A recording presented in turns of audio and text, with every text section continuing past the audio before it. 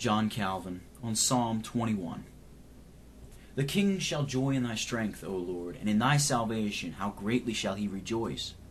Thou hast given him his heart's desire, and hast not withholden the request of his lips. Selah. For thou preventest him with the blessings of goodness, thou settest a crown of pure gold on his head. He asked life of thee, and thou gavest it him, even length of days forever and ever. His glory is great in thy salvation. Honor and majesty hast thou laid upon him. For thou hast made him most blessed forever. Thou hast made him exceeding glad with thy countenance. For the king trusteth in the Lord, and through the mercy of the Most High he shall not be moved. Thine hand shall find out all thine enemies, thy right hand shall find out those that hate thee. Thou shalt make them as a fiery oven in the time of thine anger. The Lord shall swallow them up in his wrath, and the fire shall devour them. Their fruit shalt thou destroy from the earth, and their seed from among the sons of men. For they intend evil against thee, they imagine a mischievous device, which they are not able to perform. Therefore shalt thou make them turn their back, when thou shalt make ready thine arrows upon thy strings against the face of them. Be thou exalted, Lord, in thy own strength. So will we sing and praise thy power. This psalm contains a public and solemn thanksgiving for the prosperous and happy condition of the king. It is shown that the safety and prosperity of the king ought to produce public and general rejoicing through the whole realm, inasmuch as God by this means intended to preserve the whole body in safety.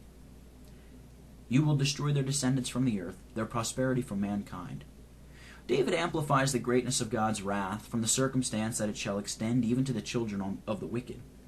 It is a doctrine common enough in, the, in Scripture that God not only inflicts punishment upon the first originators of wickedness, but makes it even to overflow into the bosom of their children.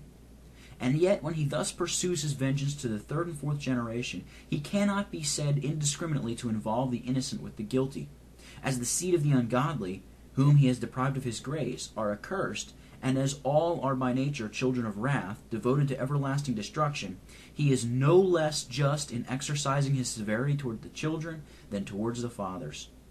Who can lay anything to his charge if he withhold from those who are unworthy of it the grace which he communicates to his own children? In both ways, he shows how dear and precious to him is the kingdom of Christ.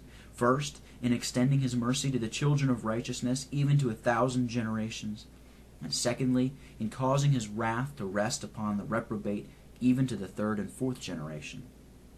Be exalted, O Lord, in your strength. The psalm is at length concluded with a prayer which again confirms that the kingdom which is spoken of is so connected with the glory of God that his power is reflected from it. This was no doubt true with respect to the kingdom of David, for God in old time displayed his power in exalting him to the throne. But what is here stated was only fully accomplished in Christ, who was appointed by the Heavenly Father to be king over us, and who is at the same time God manifest in the flesh.